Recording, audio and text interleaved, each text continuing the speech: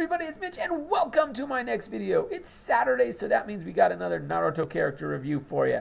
And today's character is Might Guy, the master of Taijutsu.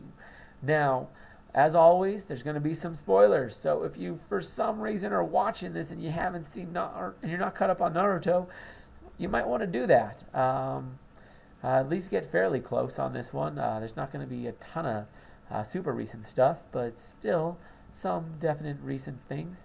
So definitely want to check that out. Um, and but yeah, I suspect you've probably all seen it. And if not, if you don't like, you don't care about spoilers, who cares? Watch it anyways. Um, but definitely bookmark me if uh, you want to watch later, so that you know you can watch later.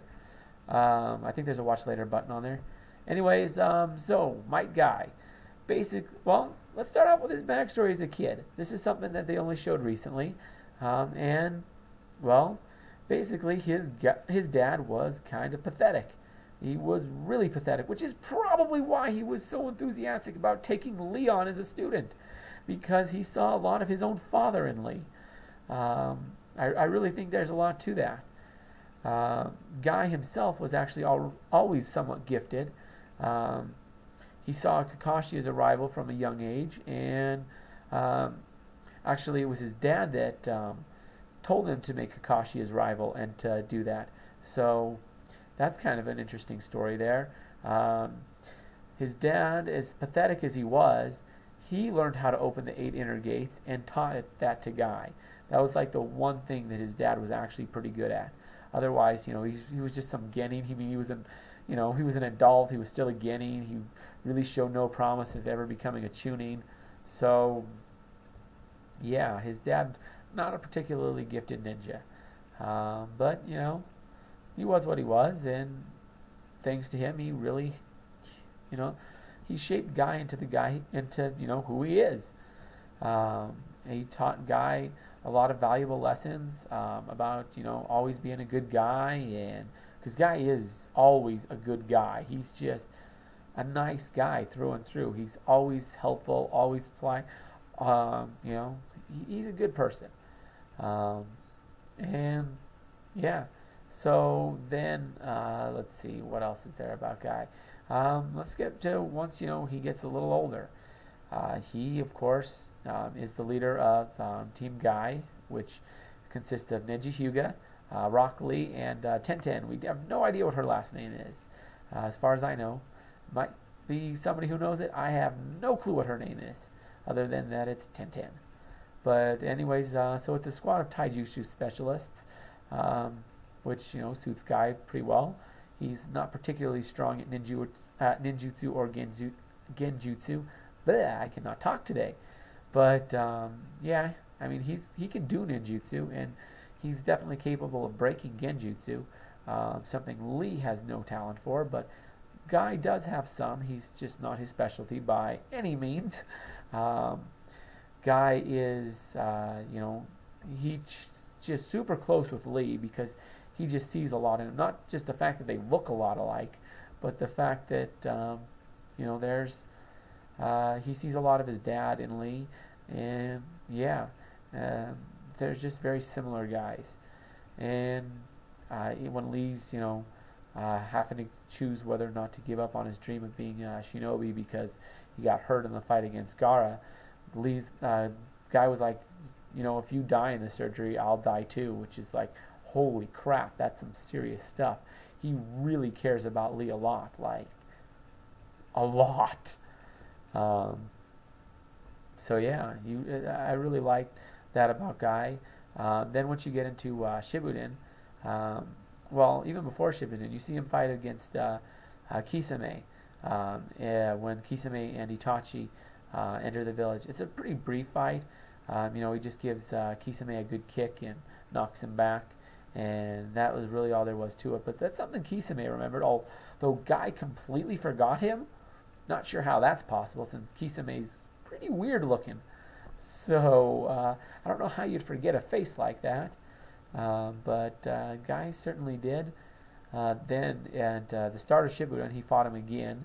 Um, and you know, he got his uh, got his butt kicked. To, well, he actually he actually he kicked Kisame's butt, but it wasn't really Kisame. It was uh, Uh, it was a replica. Was basically, it was a replacement that it was a special jutsu that um, Pain was using. But anyways, um, he, to, he ended up opening uh, what was it, six of the inner gates in order to do that, which uh, it, it, took its toll on him. Those inner gates are not easy to open by any means. So yeah. Um, then he fought up. Uh, you see him fight against Kisame again uh, later, uh, and he actually kills Kisame and takes him down. Well, he doesn't kill Kisame. Uh, Kisame ends up dying still, though. I forget exactly how that happens. It's been a long time since I've got that, uh, watched that part, uh, and I have only watched that section once. But anyway, so Guy he uh, takes down Kisame, and he has to open seven of the inner gates for that, and he's in some pretty rough shape after that. Like he can't move. He's, you know, he he's pretty well.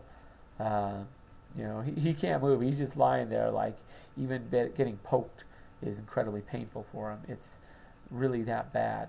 But you know, Guy is really the only person who could beat Kisame because uh, Kisame has all this chakra absorbing abilities. It's like, haha, your ninjutsu won't work against me. And Guy's like, I use taijutsu, so, and I'm better at taijutsu than anyone else. So take that, because um, you know that's just Guy.